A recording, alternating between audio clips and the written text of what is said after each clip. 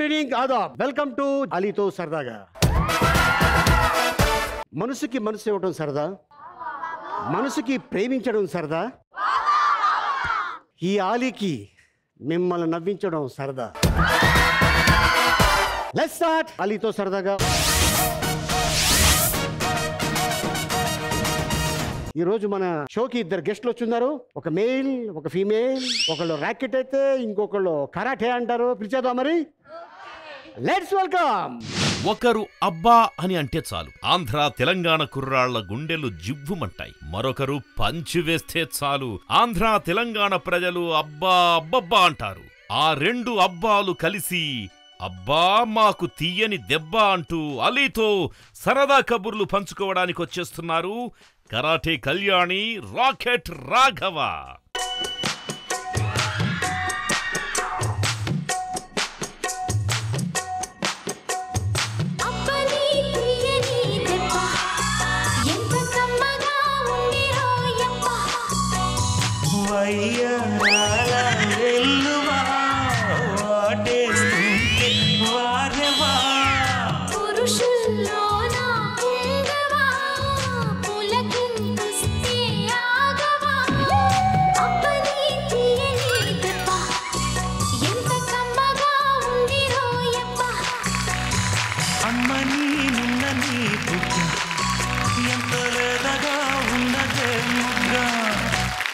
Raghava sir dance ఎక్కడ నేర్చుకున్నావు? ఏదో సార్ అక్కడే ఇక్కడ అందరినీ చూసి నేర్చుకోవడమే సార్. అంటే- డాన్స్ అని మీరు అన్నారు అదే నాకు చాలా ఆనందంగా. అంటే అది కాపీ కొడదామంటే నా నా వల్ల కావట్లేదు ఎందుకంటే వేసింది నేనే వేయలేను మళ్ళీ. ఆ? ఒకసారి వేసింది నేనే మళ్ళీ వేయలేను అన్నగారు. ఊళ్ళో పేడలు ఏమైనా తొక్కేవాడు? అయ్యి చాలా. మట్టి. తొక్కడం ఏంటి? దొళ్ళేయడమే ఓహో. ఇసుకల్లోని.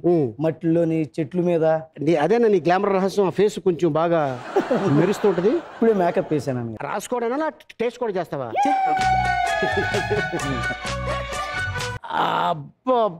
బాబీ మీ ఇంట్రడక్షన్ ఏంటి? అబ్బా అబ్బా లాగా అనిపించారు ఏంటి అదే అసలు చాలా అబ్బాలు అన్నగారు చాలా అబ్బాలు వచ్చాయి. ఇప్పుడు ఏం అబ్బా అవుతుందో లేకపోతే దెబ్బ అవుతుందో తెలియదు సార్. ఓకే కళ్యాణి ఎలా ఉన్నావు? Super sir. మీరు చూస్తున్నారు ఎవర్ గ్రీన్ అన్నట్టుగా ఎప్పుడు ఇలాగే.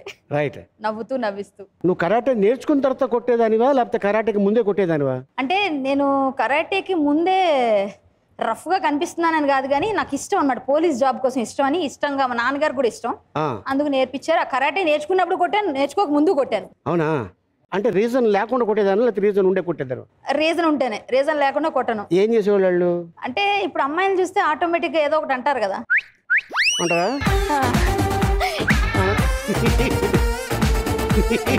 అంటే వీళ్ళు అడుగుతారు కరాటే కళ్యాణి ఏంటి? ఇంటి పేరా? అంటుకుంటారు కరాటే కళ్యాణ్ అంటే ఇంటి పేరు కాదు. కాదు. ఒరిజినల్గా నేను black belt national gold four times నాలుగు సార్లు తీసుకున్నాను.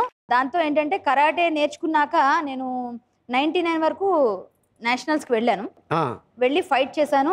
ఎప్పుడు కూడా కొంచెం రఫే. మనం వస్తున్నామంటే మెడల్ తెస్తున్నామనే కన్ఫర్మ్. అలా ఉండేది. నాన్నగారికి పోలీస్ చేయాలని ఉండేది. నేను చదువు మధ్యలో వదిలేయడం వల్ల పోలీస్ అవ్వలేకపోయాను అవును. నువ్వు కరాటే నేర్చుకుంటున్నావు అంటున్నావు, నాలుగు బ్లాక్ నాలుగు సార్లు మెడల్స్ అంటున్నావు. మరి డెఫినెట్గా ఆ స్పోర్ట్స్ దాంట్లో నీకు మంచి అద్భుతమైన సెంట్రల్ గవర్నమెంట్ జాబ్ రావాలి. అంటే నేను చదువు మీద ఇంట్రెస్ట్ చూపించలేదు వచ్చేదేమో ప్లస్ నాకు మాకు బాగా లో ఫ్యామిలీ అన్నమాట. మనం మిడిల్ క్లాస్ అని కూడా చెప్పొద్దు. బాగా అట్టడుగు నుంచి వచ్చాం ఫస్ట్. అంత కష్టంలో ఇప్పుడు ఏంటి నేషనల్స్కే మనం కష్టపడి నాన్నగారు వాళ్ళు ఇబ్బందులు పడి నన్ను పంపించేవారు. అప్పుడు మనకి ఎలా అప్రోచ్ అవ్వాలో తెలియదు ఇంటర్నేషనల్ సెలెక్ట్ అయ్యాను నేను. సెలెక్ట్ అయ్యాను కానీ కాలేదు. తైక్వాండో మా మార్షల్ ఆర్ట్ పేరు. అచ్చా. కానీ డబ్బులు లేక ఆగిపోవాల్సి వచ్చింది. ఏంటి రాఘవ ఏమన్నా మిస్టర్ ఇండియా పోటీకి ఏమైనా వెళ్తున్నావా? లేదు సార్ ఏం సార్? రెండు ఇంచులు హైట్ అయ్యావేంటి? అదే షూ కొత్తది కొన్నాను సార్. అది అరిగేదాకా రెండు ఇంచులు అలాగే ఉంటుంది. అన్నావా లేకపోతే ఈ షోకి ముందు ఏదైనా టెంపుల్కి వెళ్ళావా? అచ్చచ్చా లేదు సార్ లేదు లేదు సార్. పాలిష్ కొట్టడం వల్ల మరీ కొత్తగా కనపడుతుంది. అంతేనంటావా? అచ్చా. సో ఈ ఇటీవల మధ్యకాలంలో ఒక ఇంటివాడు అయ్యాడని విన్నాను. అవును సార్. అంటే పెళ్ళి కాదు పెళ్ళి చాలా కాలం అవుతుంది. అయిందేమో అనుకున్నాను సార్ నేను కూడా. ఇంటివాడంటే ఇల్లు కొనుక్కొని వీళ్ళు ఓకే సార్ మా ఆవిడ ఇంకో ఇల్లు ఉందేమో అనుకుంటారు. మన ఇంటి గురించే చెప్పారు. ఆ, ఓ ఇలా కూడా అర్థం చేసుకుంటారా? ఏమో సార్. ఆవిడ చెప్పలేదు నువ్వు మ్యాటరు? అది చెప్పారు మ్యారేజ్కి ముందు. ఏయ్, ఆ, సార్. చెప్పా కదా షూటింగ్లో లేదు సార్. మ్యారేజ్కి ముందు. ఓ అదే మా ఆవిడ గురించే చెప్పారు. ఏం పేరు ఆవిడ? పద్మ పూర్ణిమ ఆ, నువ్వు కాదు కాదు. సరోజిని ఏదో చెప్పావు నాకు. ఏంటి నిజం అనుకుంటారు సార్. సర్లే అమ్మ నేను ఈసారి మీరు పర్సనల్గా కలిసినప్పుడు నేను చెప్తాను. నాకు ఇప్పుడు కాదు టెన్ ఇయర్స్ బ్యాక్ చెప్పాడు. మరి మీకు చెప్పాడో లేదు తెలీదు. మీరు అన్నంలో ఏం కలుపుతారో తెలీదు. సార్. బాగా పెట్టండి. రాఘవకి. మంచి ఆవకాయ కలుపు. అది తప్ప ఇంకేం ఆలోచన కలుపుకొని మీరే తినండి ఆడికి పెట్టద్దు. ఓకే. జనరల్గా సార్. పని పాట లేకుండా ఉంటే పండిత పుత్ర పరమసుంఠ అంటుంటారు కదా? అంటే నువ్వు పండిత పుత్రవా లేకపోతే పంచుల పుత్రవా? నేను పండిత పుత్రుడిని పరమసంటున్నా కూడా సార్. ఇప్పుడు ఇండస్ట్రీకి రాకముందా? ఇండస్ట్రీకి రాకముందు. అచ్చా. ఇప్పుడు కూడా సొంటనేమో అనిపిస్తుంటది నాకు అప్పుడప్పుడు. ఊరు మీది? చోడవరం అని విశాఖపట్నం జిల్లా. అంతకంటే ముందు నేను పుట్టి పెరిగి ఆడుకున్నదంతా వీర విలాగ్రహారం అక్కడ దగ్గరలో ఉండేది ఇంకా పల్లెటూరు. బస్సులు అవి రావు అనమాట ఊరికి. ఏ నువ్వు అన్నా? వచ్చే నేను ఉన్నాను కాదు. పల్లెటూరు బాగా. ఓకే. ఆ తర్వాత కొద్ది రోజులు బస్సు వేసారు. అది ఎప్పుడు వస్తుందో ఎప్పుడు వెళ్తుందో తెలీదు. ఆ తర్వాత ఇంక నేను డిగ్రీ వచ్చేటప్పటికి అక్కడి నుంచి కాస్త పెద్ద ఊరు పక్కనే చోడవరం ఉంది. మా నాన్నగారికి అక్కడికి ట్రాన్స్ఫర్ అయితే అక్కడికి వచ్చాం. ఏం చేసేవారు నాన్నగారు? మా నాన్నగారు టీచర్. ఓకే. టీచర్గా వర్క్ చేసేవారు. ఇంకా చోడవరంలో రిటైర్ అయ్యి అక్కడే సొంత ఇల్లు కొనుక్కుని అక్కడే ఉన్నారు ప్రెసెంట్. కాలేజ్ డేస్లో నేనొక్క ప్రేమ పిపాస్ నేను అమ్మాయిల చుట్టూ తిరిగేవాడు అంటాను? అబ్బాయి కాలేజ్ డేస్లో నాకు అదృష్టం అవకాశం రాలేదన్న గారు గొంతు పోయింది పూర్ణ అదృష్టం కాదు. చెప్పేది పూర్తిగా విని చేయి చేసుకోకు. అంతేగా అన్నగారు నేను నాకు ఎలా ఉండేవాడంటే కాస్త నాకు తొందరగా మీసాలు రాలేదు. డిగ్రీ అయిపోయినా మీసాలు రాలేదు. ఇప్పుడు కూడా రాలేదులే. అచ్చా దిద్దేమనుకుంటున్నారా నిజమే అన్నగారు. అయితే నా క్లాస్ అమ్మాయిలందరూ కూడా ఒక్కొక్కళ్ళు ఆరు అడుగులు ఉండేవారు క్లాస్మేట్స్లో అంటే నేను అప్పటికే ఇంత ఉండేవాడిని. అంటే ఇలా హలో అలా. చూస్తుండేవాడిని. మిగతా క్లాస్మేట్స్ కూడా వాళ్ళు జేబులు తీసి గడ్డలవి కూడా దువ్వుకుంటూ ఉండేవాళ్ళు. ఆ. దాంతో నేను వాళ్ళ దగ్గర అన్న అక్క అన్నట్టు తిరుగుతుండేవాడిని వాళ్ళ దగ్గర. సో లైన్ వేద్దామంటే భయం చెప్పు తీసుకుని కొడతారు వాళ్ళు ఆ, ఆ దానివల్ల ధైర్యం రాలేదు నేను మ్యాచ్ కాలేదు ఎక్కడ? ఆ, నాకు ఎక్కడ లవ్ చేసే అవకాశం రాలేదు. అవకాశం రాలా. నీది అరేంజ్ మ్యారేజ్ అరేంజ్డ్ మ్యారేజ్ ఏ ఊరు అమ్మాయి? గుంటూరు. గుంటూరు అమ్మాయి. పచ్చిమిరపకాయలు గుంటూరు మిర్చి. అసలు ఎలాగా నువ్వేమో వైజాగ్ అంటున్నావు అమ్మాయి గుంటూరు అంటున్నావు? హౌ? అంటే ఎలాగంటే అప్పటికే మనం చాలా మ్యారేజ్ బ్యూరోలో అన్ని తిరిగేసి అలిసిపోయాం. ముసలి అయిపోయాక అయింది సార్ పెళ్ళి ఏమండి వయసు గురించి చెప్తాను ఇందాకే చెప్తాను ఓకేనండి. అయితే నేను హైదరాబాద్ వచ్చాక యాంకరింగ్ లెవెన్ చేస్తున్నప్పుడు ఒకసారి మా చుట్టం అక్కడ ఉన్నాడండి మా బావ. నాకు ఫోన్ చేసి ఏం చేస్తున్నాడంటే అతను డ్రైవింగ్ నేర్చుకుంటున్నాడు ఉదయాన్నే. ఆ డ్రైవర్ ఏం చేస్తున్నాడు నేర్పి ఇన్స్ట్రక్టర్ కార్లోనే ఒక ఆల్బమ్ పెట్టుకుని కార్లో మ్యారేజ్ బ్యూరో నడుపుతున్నాడు. నాకు మొన్న ఒక అమ్మాయి ఫోటో చూపించండి ఆల్బమ్ ఒక అమ్మాయి బాగుంది అన్నాడు. అన్నీ మనం అన్ఎక్స్పెక్టెడ్గా జరిగిపోతాయి. ఎన్ని చూసినా జరగలేదు. వాళ్ళ ఇంటికి వెళ్తే అదేదో అయితే ఫోన్ చేసి ఆ ఫోటో తెప్పించాను ఫోటో చూసాం. వెంటనే ఫోన్ చేసాం వన్ ఫైన్ మార్నింగ్. కలిసేద్దామండి అనుకున్నాం. ఈ లోపు నేను పరేటి బట్టల షాప్కి వెళ్ళి మంచి షూ ఆ, ప్యాంటు షర్ట్ అన్నీ కొనుక్కుని పెద్ద వర్షం కూడా పెళ్ళి చూపులు అనగానే వర్షం తగ్గాక తయారైపోయి వెళ్ళిపోయాను అన్నగారు ఆల్టరేషన్ చేయడానికి టైం కూడా లేదు. ప్యాంట్ ఎక్కడ దాకా మడిచా. ఐదు రౌండ్లు. అడిగి వెళ్ళిపోయాక వెంటనే ఓకే అయిపోయింది. ఓకే. నేనొక ప్రేమ పిపాసిని. నీ ఒక ఆశవాసివి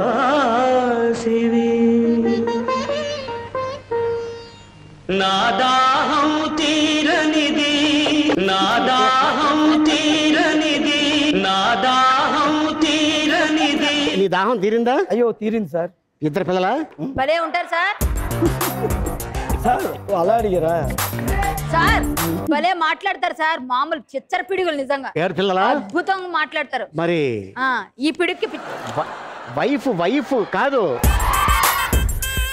వైఫ్ ఏమో గుంటూరు. ఆ, మనోడేమో వ- వ- విశాఖ చోడవరం, జిల్లా. చోడవరం. చోడవరం. మరి ఆ మాత్రం పిల్లలు అలా లేకపోతే ఎలాగా? నా దాహం తీరనిది. నా దాహం తీరనిది. ఇప్పుడు తను ఏదో చెప్పాడు. "హా, నువ్వు చప్పట్లు కూడా అతనేంటి నువ్వేం తక్కువ? నీదే ఊరు? విజయనగరం సార్. సో నువ్వేంటి ఫిఫ్త్ క్లాస్లోనే పేకాట కోసం క్లాసులు ఎగ్గొట్టావంట? ఫిఫ్త్ క్లాస్లోనే పేకాట? మీకు లీక్ అయిపోయింది అనమాట ఏంటది? అంటే నాకు చిన్నప్పటి నుంచి మా యాక్చువల్గా మా కాలనీ పుల్బాక్ కాలనీ అని ఎన్టీఆర్ గారు ఒక పదమూడు వందల ఇల్లులు ఇచ్చారు. అందరూ కళాకారులు. ఒకవైపు హరికథ ఒకవైపు బుర్రకథ ఒకవైపు డాన్స్ రికార్డింగ్ డాన్స్ ఇంకెవరో ఉంటారు కదా ఆర్కెస్ట్రా ఎటు చూసినా కళాకారులే. ఓకే. మొత్తం అంతా ఉండేవారు. ఆ మధ్యలో నాన్నగారికి వచ్చింది. మేము పేదవాళ్ళం కాబట్టి ఆటోమేటిక్గా ఆయన పెట్టుకున్నారు వచ్చింది కళాకారులు అయితే ఫిఫ్త్ క్లాస్కి వచ్చిన తర్వాత మా ప్రక్కన కొంతమంది ఉంటారన్నమాట. వాళ్ళు ప్యాక్ ఆడుతుండేవారు. అదేంటి? జానాపట్లు అంటారు. జానపట్లు అంటే ఇరవై ఒకటి. Black Jack. ట్వంటీ వన్ అవ్వాలి. అది వాళ్ళందరూ ఆడుతుంటే వెళ్ళి చూస్తుండేదాన్ని ఇలా పెట్టి. ఇలా చూస్తూ ఉంటే ఏంటిది అంటే ఇరవై ఒకటి అయితే నీకు డబ్బులు వస్తాయి అన్నారు. ఒక రోజు రూపాయి తీసుకొని వెళ్ళాను. మా నాన్నమ్మ ఇచ్చింది అనమాట ఆ. రూపాయి పట్టుకొని వెళ్ళాను. వెళ్ళి అక్కడ పెట్టాను. లక్కీగా వచ్చింది నాకు. ఇరవై ఒకటి వచ్చేసింది. ఇరవై ఒకటి పడింది. ఇదేదో మనకు లక్ బాగుందని రోజు రూపాయి పట్టుకొని వెళ్ళిపోవడం. ఏదైనా ఇస్తే తినకుండా పట్టుకొని వెళ్ళి పెట్టేయడం ఆడేయటం. మా అమ్మ నాన్న ఇక్కడేమో స్కూల్కి వెళ్ళకుండా స్కూల్ నుంచి సాయంత్రం తొందరగా వచ్చేయడం వీళ్ళు సాయంత్రం టైం ఉండదు. మధ్యాహ్నం రెండు నుంచి ఐదు వరకు ఆడేవారు. ఆ టైంలో స్కూల్లో ఉంటాం. అది కుదరదు. అప్పుడు ఏం చేయాలి? ఎగ్గొట్టేసి ఇంకా కూర్చొని దొడ్డిదారిని వెళ్ళిపోయి వాళ్ళ ఇంటి వెనక వైపు ముందు వైపు తలుపు వేయించేసి బ్యాక్ సైడ్ వెళ్ళి కూర్చొని ఆ రూపాయి పెట్టడం ఆడుకోవడం. ఇలా కొన్ని రోజులు గడిచిపోయింది.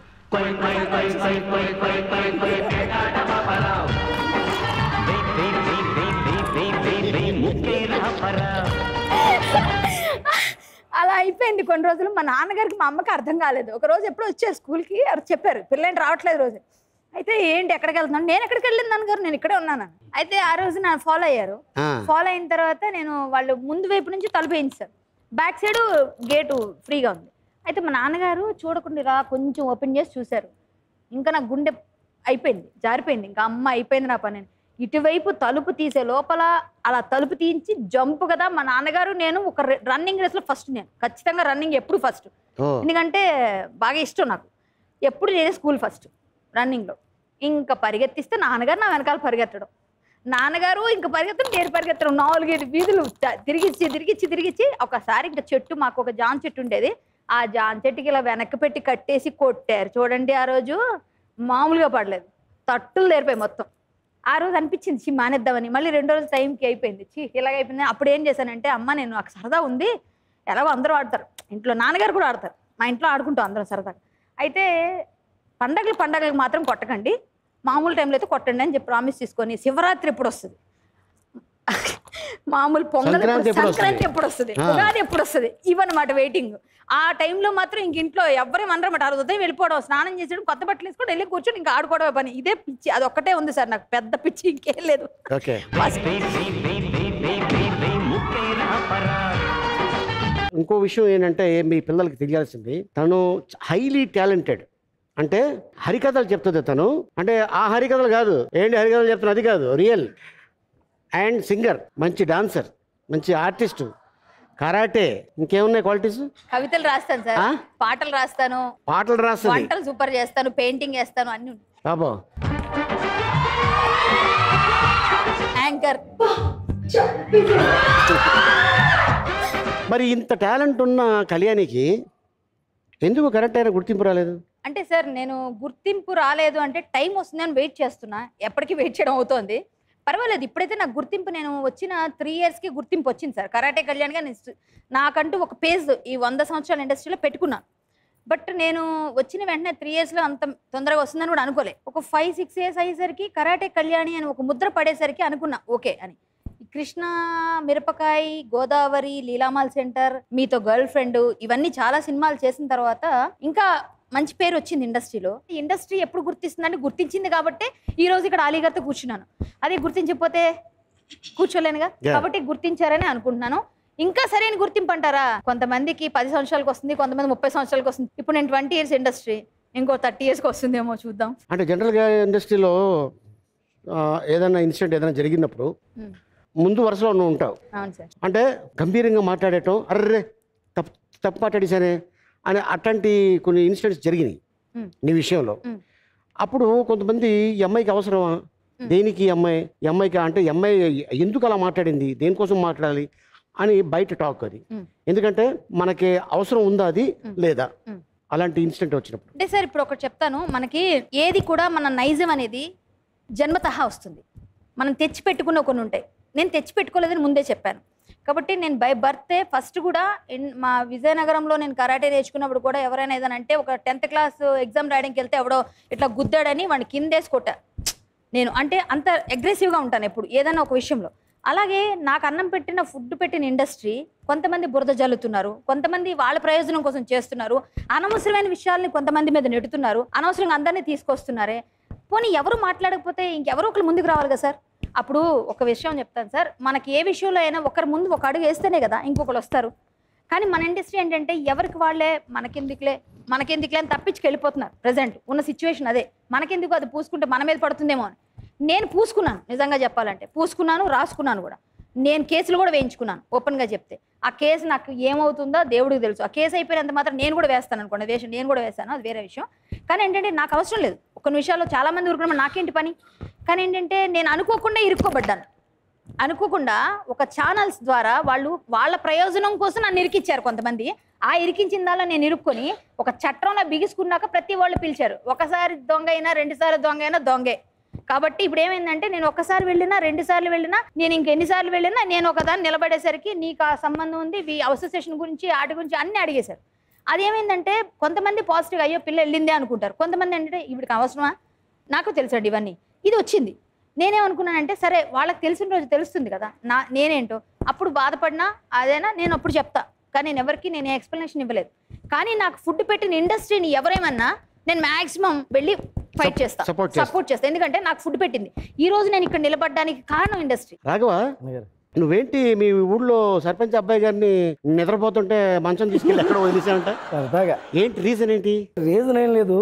సరదాగా ఎక్కువ తనని ఎక్కువగా తను ఏంటంటే డ్యాన్స్ చేస్తుండేవాడు మా చిన్నప్పుడు. ఆ, ఎక్కువగా లేడీస్ పాటలకే వేస్తుండేవాడు. భరతనాట్యం డ్యాన్స్లో ఆ, చంద్రమ్మ ద్వారా అని నాకు సీనియర్ తను. అచ్చా. మేము అందరం రాత్రి ఒక గ్రూప్ స్టడీ చేసి పదకొండు పన్నెండు గంటలకు పడుకున్నాం. ఆ రోజు అబ్బాయి రాలేదు. గ్రూప్ స్టడీ చేసేవాళ్ళమే పెద్దవాళ్ళందరూ తలుపు వేసుకుని పడుకోగానే మేము సెకండ్ షోకి వెళ్ళిపోయేవాళ్ళం. గ్రూప్ స్టడీస్ షూరా? షూర్. లేకపోతే? ఆ స్టడీ తెలియదు ఇంకా అప్పటికి పల్లెటూరు కదా. అయితే పెద్దవాళ్ళందరూ పడుకోగానే లైట్లు ఆరిపోగానే మెల్లిగా దుప్పట్లు అయిన పడుకోబెట్టేసి పక్కన పెట్టేసి సెకండ్ షోకి వెళ్ళిపోయేవాళ్ళం. మా ఊర్లో థియేటర్ కాదు ఓ నాలుగు కిలోమీటర్లు ఆవిడ థియేటర్. అక్కడికి వెళ్ళిపోయి సినిమా చూసి సైలెంట్ వచ్చి మళ్ళీ పడుకునేవాళ్ళం. ఆ రోజు ఏమైంది? రే ఇంకా ఎవరికి నిద్ర పదండి? ఏటి దగ్గరికి వెళ్దాం పదండి చీకట్లో ఏటి దగ్గరికి ఎంటారు బాబు? మళ్ళీ అలా తిరిగి ఆడుకుంటూ వెళ్తే సర్పంచ్ గంటలో కాంపౌండ్లో ఆయన మంచం మీద నిద్రపోతున్నారు. ఆ పక్కన వీడు నిద్రపోతున్నాడు. సరే సరే పదని చెప్పి అందరూ వెళ్ళి నాలుగు కాళ్ళు పట్టుకుని మంచాన్ని సైలెంట్గా తెచ్చి బయటికి తెచ్చాం. నిజంగా బయట నిద్రపోతున్నాడు ఇంకా లేవలేదు. ఒక దగ్గర రోడ్డు గట్టెక్కి దిగాల్సి వచ్చింది. అక్కడ తేడా వచ్చింది బ్యాలెన్స్ వచ్చింది. వాళ్ళు లేచి "ఆ" అన్నాడు. ఆడికి అర్థం కదా పై ఇంటి పక్కనే వాళ్ళ ఇంటి పక్కన పెద్ద రావి చెట్టు అక్కడ దెయ్యాలు తిరుగుతాయని చెప్పుకునేవాళ్ళం మేము. అంటే ఆ నడిచేటప్పటికి ఓ పక్క ఇద్దరు వదిలేసి పారిపోయి ఆడు పడిపోయాడు. ఆ తర్వాత మమ్మల్ని చూసి మేము పరి- పరిగే ఇంకా ఆగలేదు వాడు వాడు మా ఫ్రెండ్ కాబట్టి సరిపోయింది. లేకపోతే సర్పంచ్ అదే నిజంగా ఉంది. ఎప్పటికీ. ఆ మన్నాడు ఆడు కనబడంటే భయం వేసి తిడతాడేమో వాళ్ళ నాన్నతో చెప్తాడేమో. ఒక సీరియస్ క్వశ్చన్ రాఘవ సార్. చార్మితో ప్రేమలో పడ్డావంట? చార్మితో ఆ, ప్రేమలో అవకాశం రాలేదు సార్ నాకు. ఇప్పుడు నేను చార్మి గారికి చాలా పెద్ద ఫ్యాన్ అండి. కాదు నీ కోసం ఆవిడ జబర్దస్త్కి సార్. గెస్ట్గా వచ్చి సార్. తన చేతుల మీదుగా నీకు చెక్ కొట్టి ఆవిడ ఇచ్చారు. అది మాత్రం నేను ఎప్పటికీ మర్చిపోలేనండి. నాకు ఆవిడంటే చాలా ఇష్టం అభిమాని ఎందుకంటే అంతకుముందు నేను యాంకరింగ్ చేసేటప్పుడు ఆవిడ ఇంటర్వ్యూ చేశాను ఒకసారి. అప్పుడు ఆవిడ డెడికేషన్ చూసి నాకు బాగా నచ్చారు ఆవిడ. ఆ తర్వాత గ్లామర్ అన్నీ ఆవిడ యాక్టింగ్ ఆవిడ పంజాబ్ అయినా సరే తెలుగు చాలా బాగా మాట్లాడతారు తెలుగు నేర్చుకుని. నాకు అన్ని కోణాల్లో కూడా ఆవిడ నచ్చారు. ఫస్ట్ గ్లామర్ అనుకోండి. నచ్చాక అప్పుడు నేను గట్టి ఫ్యాన్ అయినా ఆ తర్వాత అనుకోకుండా జబర్దస్త్కి ఒక ఎపిసోడ్కి వచ్చి అందులో నేను విన్నర్ అయితే ఆవిడ చేతుల మీదుగా నాకు చెక్ ఇచ్చి చాలా హ్యాపీగా ఫీల్ అయ్యాను సార్. కానీ లవ్లు అలాంటివి లేవు సార్. ఆవిడ ఎక్కడ నేను ఎక్కడ sir? And now go. Step step మహా స్టెప్ Check it out.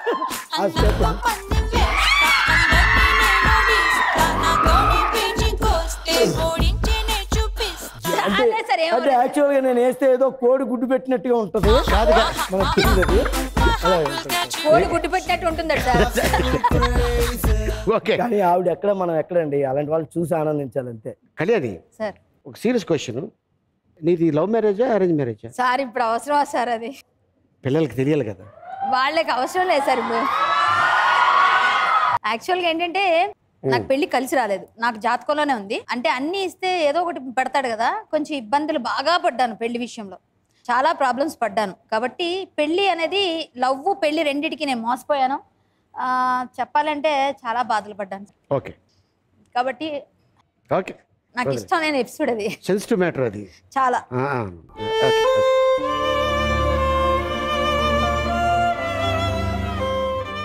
నువ్వు చాలా గుప్తదానాలు చేస్తుంటావు. నీకు ఎలాగ జీవనాధారం ఏంటి? అంటే ఇప్పుడు చాలా చిన్న కుటుంబం నుంచి వచ్చాను అంటున్నావు. అంటే ముందు మనకి ఏముంది చూసుకున్న తర్వాత భగవంతుడు దానికి మించి మనకి కొద్దిగా ఎక్కువ ఇచ్చాడనుకో చెయ్యాలి అని అనిపిస్తుంది లోపల.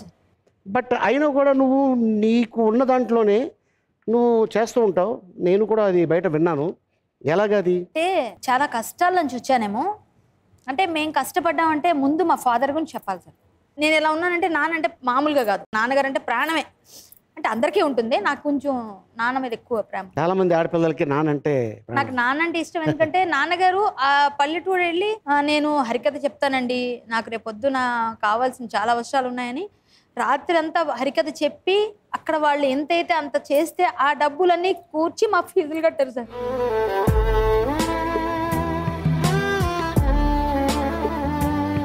నా నాన్నగారు చాలా కష్టపడ్డారు సైకిల్ మీద వెళ్ళి సైకిల్ ఊళ్ళో వెళ్ళి వాళ్ళు తీసుకుంటే సర్పంచులకు ఎవరికో చెప్పి కష్టపడి నాన్నగారు తెచ్చిన ఫీజులతో నేను చదువుకున్నాను హరికథతో. ప్లస్ తమ్ముడు సపోర్ట్ చేసేవాడు. ఆ టైంలో చిన్నవాడు వాడు చిన్న డోలక్క పట్టుకుని వెళ్ళేవాడు. నాన్నగారు అంటే నాకు అందుకంత ప్రాణం. ఆ హరికథను చెప్పపోతే ఆ రోజు అయినా నాకు నెక్స్ట్ ఫీజులో తినడానికి కూడా ఉండేది పొజిషన్ అనమాట మా అమ్మ నాన్న చాలా కష్టపడి పెంచారు. అమ్మ కూడా పాపం వచ్చింది అలా గుట్టిగా పెట్టి ఆవిడ కూడా అలాగా చేసేది. నాన్నగారు చాలా కష్టపడితే మేము ఈ రోజు ఇలా ఉన్నాం. కాబట్టి ఆయన హరికథతో చేశారనే ఇప్పటికీ నేను హరికథను వదలలేదు సార్. ఇన్ని సంవత్సరాలు? పదమూడు సంవత్సరాలు అయింది. పన్నెండు పదకొండు సంవత్సరాలు అయింది. శ్రీ ఆదిపట్ల శ్రీకళాపీఠం అని పెట్టాను. ఇప్పుడు నేను ఆ హరికథ కోసం నేను ఈరోజు ఇరవై వేలు తీసుకున్నాను అనుకోండి షూటింగ్లో. అందులో ఒక ఐదు వేలు హరికథ కళాపీఠంలో వేస్తాను. ఆ హరికథ కళాపీఠంలో వర్ధంతి జయంతి చేస్తాను ఆదిపట్ల నారాయణ దాస్ గారిది. పేద కళాకారులకు వీలుంటే అవకాశం ఇచ్చి డబ్బులు ఇస్తాను. ఎవరు ఇస్తే తీసుకుంటానో లేకపోతే లేదు. నేను ఇంకేంటంటే ఇప్పుడు నాకు నాకు చాలా మంది చూసారు మీకు తెలిసే ఉంటుంది. పేకాటాడి గొడవల్లో నాకు అరెస్ట్ అయ్యానని పెద్ద చేశారు. అప్పుడు నేను ప్రతిభాలను. నేను ఒక నూట ముప్పై ఆరు గంటలు నూట ఎనిమిది గంటలు హరికథ ఉత్సవాలు చేస్తానండి. ఇంకొక పది రోజులు అనౌన్స్మెంట్ ఉంది. మీరు దయచేసి అర్థం చేసుకోండి నాకు పేకాట పిచ్చే కానీ నాకు ఇది కాదు జీవితం అని చాలా బాధపడ్డాను సార్. అయినా వాళ్ళు కావాలని ఇరికించారు. నాకు తెలుసు అయిపోయింది. నోట్ ఆ వెంటనే నా నగలన్నీ అమ్మేసి ఎవరు రాకపోతే ముందుకి ఈ అమ్మాయి బ్యాడ్ వచ్చింది కదా రాకపోతే వస్తానన్న వాళ్ళందరూ బౌన్స్ అయ్యే చెక్లు చాలా ఇబ్బంది పెడితే నూట ఎనిమిది గంటలని నూట ముప్పై ఆరు గంటలు చేశాను సార్. ఇదే సిద్ధార్థ నగర్ హైదరాబాద్లో నూట ముప్పై ఆరు గంటలు ఉత్సవాలు చేస్తే లిమ్కా రికార్డ్ వచ్చింది. గిన్నీస్ రికార్డ్ పెడితే వాళ్ళు అన్నారు మాకు ఇది ఆర్ట్ ఫామ్ తెలియదు హరికథ అనేది ఎవరికి తెలుసు? ఇది సంగీతపరమైంది అని చెప్పి చాలా మాట్లాడారు. అయితే నేను అప్పుడు డిసైడ్ చేసుకున్నాను అనమాట హరికథ అనేది ఫ్యూచర్ జనరేషన్కి తెలియదు తెలియదు నాకు అన్నం పెట్టింది. మా నాన్నగారు మమ్మల్ని పెంచారు. అందులో సంగీతం సాహిత్యం సకల కళల సమాహారం ఇది. ప్లస్ ఈ హరికథ వల్లే నేను ఈరోజు ఆర్టిస్ట్గా ఇక్కడ నిలబడ్డాను. నాకు ఏ ఏమంటారు యాక్టింగ్ స్కూల్ తెలియవు. అందులో అన్ని క్యారెక్టర్స్ మేము చేస్తాం. ఇంత మంచిదాన్ని వదిలేస్తున్నాం మనం. మంచిని వదిలేసి చెడుని తీసుకుంటున్నామని నేను ఫైట్ చేసి ఆ తర్వాత మళ్ళీ ఇప్పుడు నూట ఎనిమిది రోజులు ఉత్సవాలు చేస్తున్నాను సార్. విజయనగరంలో నూట ఎనిమిది రోజు మే పన్నెండవ తారీఖున రెండు వేల పంతొమ్మిదిన విజయవాడలో ముగింపు ఉత్సవం సార్. ఆ డబ్బుల నుంచి నేను ఇవన్నీ చేస్తాను ఈ చారిటీలు. హరికథ చెప్పేది అందుకే. నేను చెప్తే బాబీ హరికథ చెప్తుందా? ముందు నేను వెళ్ళంగానే బాబీ అన్నవాళ్ళు నేను హరికథ చెప్పిన తర్వాత దండం పెట్టి వెళ్ళిపోయిన వాళ్ళు నేను చూసా. కానీ సీరియల్స్లో నాకు మంచి క్యారెక్టర్స్ మంచి పేమెంట్ వస్తుంది కాబట్టి నేను ఇవన్నీ చేయగలుగుతున్నాను. కాబట్టి ఇండస్ట్రీలో నేను ఒక విధంగా ఇవన్నీ చేయడానికైనా కొంతకాలం కష్టపడతాను. బయట ఉన్నది వేరు లోపల ఉన్నది వేరు తెలియకుండా చాలా మంది చాలా మాట్లాడతారు. సరే ఈ షో చూసిన వాళ్ళైనా కొంత తెలుసుకుంటే చాలా హ్యాపీ నాకు. చాలా వరకు. సో కళ్యాణ్ యాక్ట్ చేసిన కొన్ని సినిమాలు క్లిప్పింగ్ చూద్దాం వీడియో ప్లీజ్. ఏమయ్యా? వాళ్ళు లేపేసి నువ్వు కూర్చున్నావు మగడవు కదా? మొగాడిని కాబట్టి ఐదో పెళ్ళి చేసుకుని పెళ్ళాన్ని తీసుకుని ఐదో పెళ్ళా? ఏమ్మా? ఇతనికి భారీగా వచ్చావు నీకు బాధగా లేదా నాకెందుకు బాధ? నాకు కూడా ఏడు మొగుడేగా. అయ్యి బాబాయ్ అది ఆవిడ నీకడ రెండు లీడింగ్లో ఉంది. సిగ్గులేదు? అక్క అక్క ఈయనే మొన్న నాకు వంద రూపాయలు ఇచ్చింది. ఏటి? నువ్వేనా? మొన్న పాటకు మనకు బెచ్చవేసింది అవును నేనే. కానీ అది బిచ్చం కాదు. ఏదో బాగా. మేము తిండికిలని ఎదవల్లా కనిపిస్తున్నావా నీకు? పాట బాగా పాడాడని ఇచ్చాను అంతే. Excuse me ladies and gentlemen meet mister Rishi కొత్తగా వచ్చిన హిందీ లెక్చరర్ కొత్త అంటున్నారు. ఫ్రెషా కొత్త అంటే మామూలు కొత్త కాదండి. ఇంకా రిబ్బన్ కటింగ్ కూడా అవ్వలేదు. అంత కొత్త. ప్రామిస్ అబ్బా చంపేశారు. I'm Ramya madam. మీ జడలో పువ్వులు కూడా నలగకుండా నా శీలాన్ని కాపాడారు. మీ రుణం ఎలా తీర్చుకోగలనండి? ఆ మాట అనాల్సింది ఆడవాళ్ళం మేమండి. ఎవరంటే ఉందిలేండి ఇంతకీ మీ పేరు? మధు మధుమిత. మరి మీ పేరు? సిద్ధు. సిద్ధార్థ!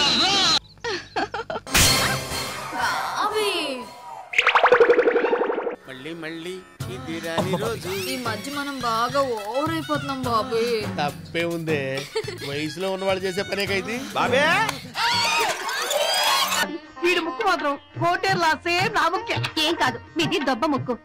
బాబు ముక్కు సంపెంగ మొగ్గల అందంగా నాలాగే ఉంది. Okay okay. అదేమో గానిండి ఆ పక్కనున్న పుట్టుమచ్చ మాత్రం అచ్చమ్మ బావ పోలికే. మనోని సొరచేపకి మేతగా పడేశారు. అమ్మో సరే. అది ముక్కలు ముక్కలుగా నవ్వులేస్తుంది. ఎలా తప్పించుకున్నా అబ్బయ్యా? అసలు ఏం జరిగి ఎలాస్ నా లేనేటి. అది మగ చేప కాదు ఆడ చేప. అయితే ఇంకేటి సత్తది? సో కళ్యాణి యాక్ట్ చేసిన కొన్ని సినిమాలు చూసాం మనం. రాఘవ ఆ, ఏది పాతాళ భైరు కదా నువ్వు యాక్ట్ చేసింది? ఓకే. అంటే నాకు తె- రీసెంట్గా తెలిసిన మ్యాటర్ అది. నువ్వు వాచ్ ఒకటి కొట్టేసి దాచావంటే అది ఇంతవరకు దొరకలేదంటే ఏంటిది? అది ఇప్పటికీ ఒక మిస్టరీ సార్ నాకు అర్థం కావట్లేదు. అది ఎవరిది షాపుడిదే. బ్రహ్మానందం గారిదే లేదు. ఇప్పుడు మీరు అలా అంటే అక్కడేం పోయినా నన్ను ఏ షాపు? మళ్ళీ నన్ను ఎక్కడ షాపు? ఏ షాపు? మా ఊరు చోడవరంలో. ఇంకా అప్పుడు మేము చోడవరం రాలేదు. నేను బాగా చిన్నపిల్లనే. ఐదో తరగతి కంటే ముందు ఉండేవాడిని అనమాట. అయితే ఒకసారి మా అమ్మగారు వాళ్ళందరూ షాప్కి వెళ్ళారు. చుట్టాలు వాళ్ళు నేను వెళ్ళాను షాప్కి వెళ్తే ఏం చూసినా కావాలని అనిపిస్తుంది కదా పెద్దోళ్ళని అడిగితే కొండరు. ఏ ఇప్పుడు అడుగుతూ ఉంటాం కాబట్టి. ఓ వాచ్ కనిపించింది రబ్బర్ వాచ్ చిన్నది. దాన్ని మెల్లిగా తీసి హ్యాండ్ బ్యాగ్లో వేసాను నేను. అతను ఇంటికి వచ్చి చూస్తే లేదు అది ఆ, షాప్ వాళ్ళు చూసి తీసారా? లేకపోతే వీళ్ళు తీసి పడేసి వీళ్ళు తీసి పడేసి ఉంటారు ఖచ్చితంగా. ఇప్పటికీ నాకు చాలా మిస్టరీ అది ఏమైపోయిందో. ఇంట్లో వాళ్ళని అడుగుదామంటే కొట్టేస్తారేమో భయం. ఎక్కడదని? ఎక్కడ దీన్ని ఎందుకు తీసామని కొడతారు వీ పగల కొడతారు అలాగే వెళ్ళిపోయింది సార్. మళ్ళీ వెళ్తున్నావు? చూడవరం ఇప్పుడు? వెళ్తున్నాను కానీ ఆ షాప్లో జాగ్రత్త షాపుల వాళ్ళు రాఘవత్తు జాగ్రత్త. వాళ్ళే వచ్చి ఒక తీసుకోండి ఇస్తారు సార్. గ్యారెంటీ ఇస్తారు. నీకేంటి తారాజువులు అంటే చాలా ఇష్టం అంటే? తారా జువ్వలు అంటే చాలా మందికి ఇష్టమే కానీ అది ఎలా పేలాలో అలా పేలితే చూస్తాం సార్. ఒకసారి నాకు భయంకరమైన ఎక్స్పీరియన్స్ అండి. అది రెండు సార్లు జరిగిందండి ఎక్స్పీరియన్స్ ఇంకోటి గుర్తొచ్చింది మీరు అడుగుతుంటే. నేను డిగ్రీ చదువుతున్నప్పుడు తారాజు ఆకాశంలో పేలితే ఎవడన్నా చూస్తాడు? వస్తుందని. పక్కలో పేలితే ఎలా చూస్తాం సార్? నేను వీధిలో మంచం వేసుకొని పడుకున్నాను. అక్కడక్కడ పెళ్ళి సా వెళ్ళిపోతుంది. హడావిడిగా పెళ్ళి పెళ్ళి జాతర వెళ్ళిపోతుంది అంతా. వాళ్ళు టపాసులు పేలుస్తున్నారు. ఒకటి వేసాడు. అది పైన పేలలేదు వచ్చి నా పక్కలో పడింది. పడ్డాక పేలిందండి అది. తలనొప్పి వచ్చేసింది ఆ సౌండ్కి. అంటే లేచి చూశాను. లేచి చూస్తే ఎదురుగుండా వెళ్ళిపోతుంది అంత మేళం. ఓహో వాళ్ళే మాకు పొద్దున్న లేచి చూస్తే అది నా పక్కలో ఉంది. ఎక్కడ పేలింది అని తర్వాత తెలిసింది. ఆ తర్వాత అత్తిలి సత్యబాబు షూటింగ్ చేస్తాను ఈవి సత్యనారాయణ గారిది. నైట్ కరెక్ట్ రెండు గంటల టైం అండి పన్నెండు రెండు గంటల మధ్యలో. అది పెళ్ళి సీనే. మన కమిడియన్ శ్రీనివాస్ రెడ్డి గారు అల్లనరేష్ గారు వీళ్ళందరూ పేల్చే సీన్ అనమాట అది. ఇంత ఇంత కట్ట తారాజవులు ఒక దీంట్లో పెట్టారండి. సరదాగా పేల్చే టైంలో అన్నీ ముట్టుకుపోయాయి ఒకేసారి. అవి ఈ రేంజ్లో ఉంటే అందరూ ఈ రేంజ్లో వెళ్ళిపోతున్నాయండి ఒక్కొక్కటనే. దాడి జరిగిన ఉల్కాపాతంలో వెళ్ళిపోతున్నాయి. జనాల మీదకి వచ్చేస్తున్నాయి. నేనైతే బిత్తరపోయి ఎక్కడ దాకోవాలో ఏం చేయాలో అర్థం కావట్లేదండి అది. మొత్తానికి ఒకళ్ళిద్దరికి తగిలేసాయి కెమెరామెన్ గారు అలా వెనక్కి పడిపోయారు ఆయన మీద కూడా వెళ్తే అలాగే అది కానీ ఇలా పేలితే ఇష్టం లేదు సార్. ఓకే. అత్తారింటికి దారి ఇది చూశారు కదా మీరు? దాంట్లో కేవు కేక ఓ బాబా చూశారు కదా? దాంట్లో క్యాండిడేట్ ఉన్నాడు తెలుసా మీకు? చూడలేదా? చాలా బాగుంటుంది ఇలా నడుస్తుంటారు. ఇలా నడుస్తూ అందులో సార్ కాంబినేషన్లో సార్ హార్మోని ప్లే చేస్తుంటారు. చిరునవ్వుతో ఎదురొచ్చి చేతులెత్తి దీవించి భక్తులనే ప్రేమిస్తుంటే. కేవ్ కేక, ఓ మార్చేసి అంగీలా కట్టేసి దయతో నువ్వు కేక, ఓ బాబాజీ కేవ్ కేక. నువ్వు లేని ఎదవ బతుకు మళ్ళీ ఆపరా అంటారేమో నేను. అంటే డాన్స్ కాపీ కొడదాం అనుకున్న లోపల నువ్వు వెళ్ళిపోతున్నావు. అది ఏ- అది ఏ మూమెంట్ నాకు అర్థం కావట్లేదు అది. అంటే నీకు చిన్నప్పుడు ఏమైనా వైర్లు ఏమైనా పెట్టారా? వైర్లు కాదన్న గారు. అసలు మా జబర్దస్త్లో నాకు పేరు ఉంది స్ప్రింగ్. ఇప్పటికి మూడు వందల ఎపిసోడ్ చేశాను కదా. మూడు వందల ఎపిసోడ్ దాటేసా అందులో దగ్గర దగ్గర రెండు వందల యాభై ఎపిసోడ్ నేను డ్యాన్స్ ఒకటే స్టెప్ వేసా ఇలా ఇలా ఉంటుంది. నేను అదే డ్యాన్స్ అనుకునేది అంతే. అలా అనుకునేలోగా ట్రై చేయాలని నీ దగ్గర రావాలి. నీ పర్మిషన్ తీసుకుని చేయాలి.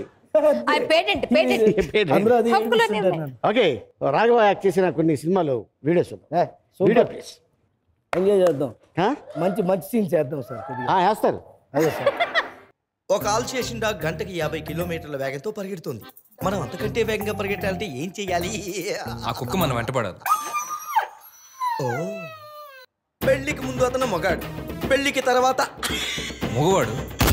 చూడు నాయనా నువ్వు ఇంటికి వెళ్ళేంత వరకు ఈ కలసం చెయ్యి మారకూడదు చెయ్యి జారకూడదు. జారితే? మీ అబ్బాయి జీవితం అడ్రస్ లేకుండా పోతుంది. ఊరుకోవా చిన్న శాస్త్రి. ఏదో చేదస్తావు నువ్వు నువ్వు. చేయి చేర్చుకోవడానికి ఆయన ఉన్న చిన్నపిల్లడా అయినా పెద్ద శాస్త్రి గారు ముహూర్తం పెట్టిన తర్వాత అన్ని సవ్యంగా హలో. ఎక్కువ తాగేసావమ్మా? లాడన్ ఎప్పుడు ఫినిష్ చేశారు కదా? ఆ విషయం తెలదా? రే కుఫ్లీ నువ్వు మాట్లాడే లాడని వేరు నేను మాట్లాడే లాడని వేరు రా అంటే నాకు తెలిసిన లాడన్ ఒకడు ఉన్నాడు. ఇంకో లాడన్ కూడా ఉన్నాడా వాట్ ఇస్ యువర్ నేమ్ ఆహా మీరు నా పేరు అడిగిన ముహూర్తం ఏదైతే ఉందో దివ్యంగా ఉంది సార్. నా పేరు దోషం.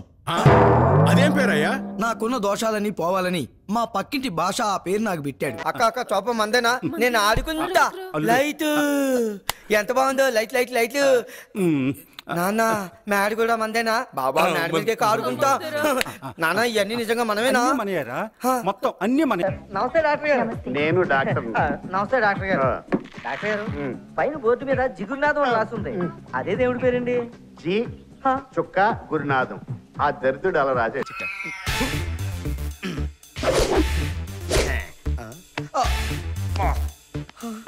అయ్యో మగాడిని. కానీ ఆ టైప్ కాదు సార్ మేము ఆ టైపా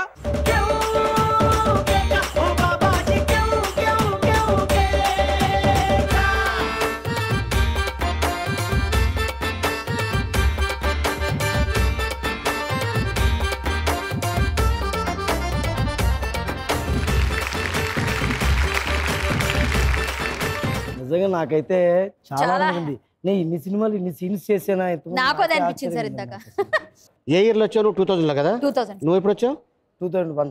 Two thousand one. One year difference one year difference junior one year junior నాకు అవకాశం. టూ థౌసండ్ త్రీ నుంచి. సో నీకంటే సీనియర్ తనే ఇండస్ట్రీకి. అవును సార్. ఆ? మీరు అయితే మాకన్నా సీనియర్ ఆ? ఆ. ఓకే రాఘవ. సార్. ఇది ఫైనల్ రౌండ్. నువ్వు రకం నేను రకం. ఈ రౌండ్ ఏంటంటే నేను ఒక సింగిల్ వర్డ్లో క్వశ్చన్ అడుగుతాను. సింగిల్ వర్డ్లో నువ్వు ఆన్సర్ చేయాలి. అయ్యో బాబోయ్.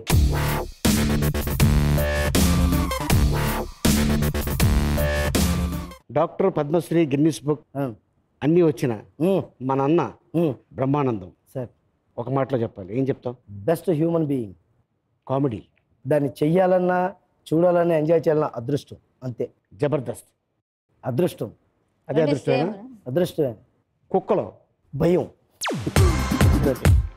మొహమాటం? మా ఇంటి పేరు. మీ ఇంటి పేరా? నాకు చాలా పిచ్చ మొహమాటం అండి. అది నాకు పెద్ద మైనస్ ఇప్పటికీ కూడా అసలు. ఎవరిదో పెద్దవాళ్ళతో వెళ్ళి మాట్లాడలేను. ఒక పెద్ద సపోజ్ మాట్లాడచ్చా ఒక నిమిషం? డైరెక్టర్ గారి దగ్గరికి వెళ్ళి అనుకోండి సార్ ఆయన వరండాలో కనబడుతుంటారు ఆఫీస్లోనే చూస్తుంటాను ఆయన ఏదో ఫోన్ మాట్లాడుతుంటారు మధ్యలో వెళ్ళి పలకరిస్తే తిడతారా అది దెబ్బ ఏమనుకుంటారో ఏం మాట్లాడుతున్నారో తెలియదు కదండి. మాట్లాడితే ఆయన లోపలికి వెళ్ళిపోతారు డింగ్ వచ్చేస్తాను నేను ఆయన చూశాను కదా అని. ఇలాగా. నాకేదో నమస్తే పెడితే ఏమంటారు కొడతారా చంపేస్తారా అని తర్వాత అనుకుంటాను మళ్ళీ. కానీ అంత మొహమాటం నేను. రైట్ దాన్ని వదులుకోలేను. సిగ్గు? అది ఉండాల్సిందే. ఒకసారి ప్లస్ అవుతుంటుంది. ఆ సిగ్గు కూడా ఉంది బాగానే నాకు. అంత సిగ్గుందా? దాని సిగదారగా అసలు అదే ముందు వస్తూ ఉంటుంది ఎక్కడికైనా వెళ్తే. గుంటూరు భార్య. చాలా మంచి భార్య.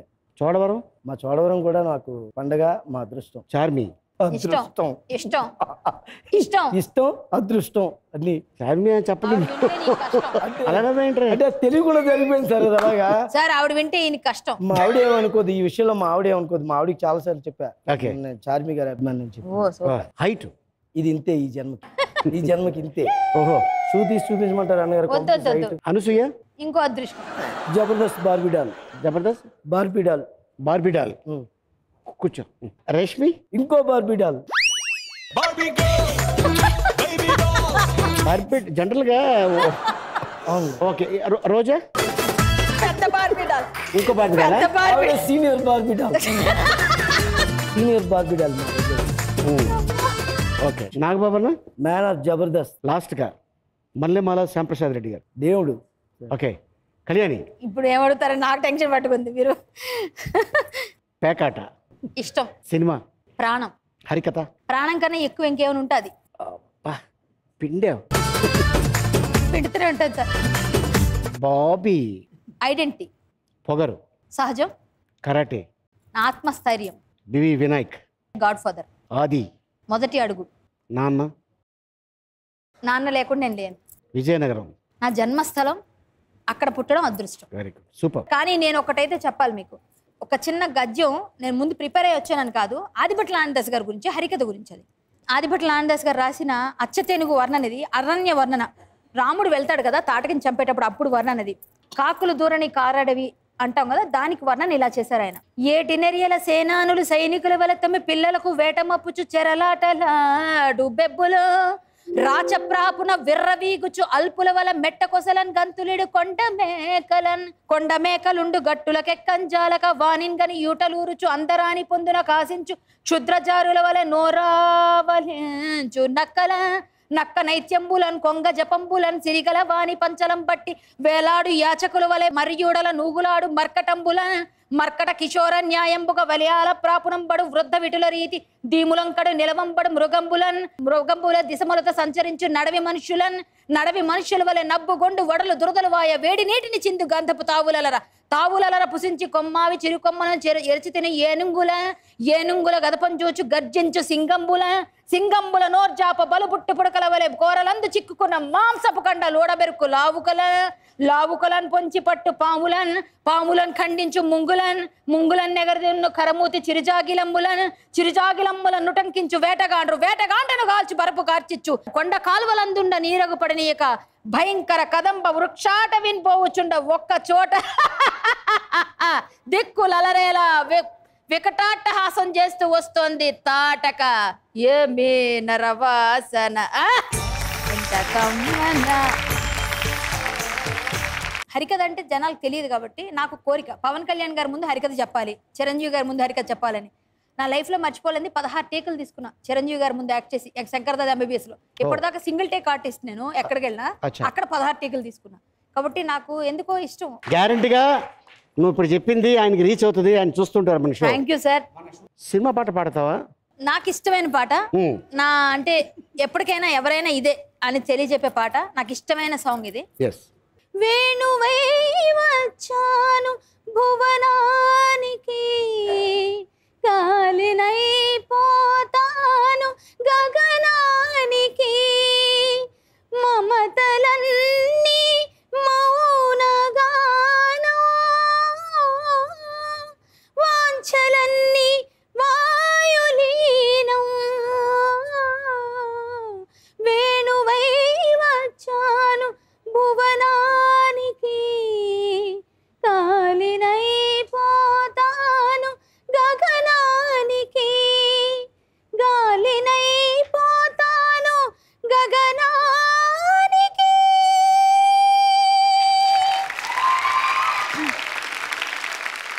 thank you Kalyani and Raghava thank you మీరు నాకు చాలా అవకాశం ఇప్పించారు చాలా సినిమాలో. ధన్యవాదాలు మీకు కూడా. Thank you thank you Raghava విధంగా Thank you. మీకు మేము ఇలా. మొక్కాలి. లేదు సార్ మీరు మాకు వచ్చిన కొత్తలో మీరు చేసిన సహాయం మర్చిపో. లేదు నేను చెప్తున్నా సారు వచ్చిన ప్రతి ఆర్టిస్ట్కి అవకాశం ఉంటే వీళ్ళు మంచి ఆర్టిస్టులు అని చెప్పి క్యారెక్టర్స్ ఇప్పిస్తారు. వచ్చిన కొత్తలో మమ్మల్ని కూడా అలాగే కొన్ని సినిమాల్లో చెప్పారు. ఆయన చెప్పడం వల్ల గర్ల్ ఫ్రెండ్ సినిమా కొన్ని కొన్ని సినిమాలు నేను చేశాను. మోహన్ బాబు గారి దగ్గర కూడా పరిచయం చేసి మంచి హరికథ చెప్పించి మెగాఫోన్ ఇచ్చి సార్ వల్ల నేను చాలా సినిమాలు చేశాను.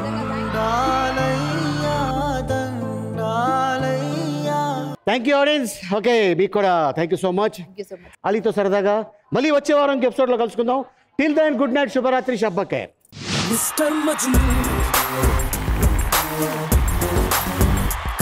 కసును మిస్టర్ మజ్ను. ఇప్పుడు నేను కాంప్లిమెంటరీ ఇద్దాం అనుకుంటున్నాను నీకు. Thank you Ali Bhai thank you very much నీ ప్యాంట్ బాగుంది. షూ చాలా బాగుంది. ఆ నెత్తి మీద కొత్తిమీర కట్ట బాగుంది. తీసేస్తాడు తెస్తా మూడు సార్లు అడిగితే. ఆయన దగ్గర చాలా వీక్నెస్ అది. మూడు సార్లు పలాంది బాగుందంటే తీసి ఇచ్చేస్తాడు. భాయ్ ఇంకోసారి చెప్తే తీసేస్తా బాబు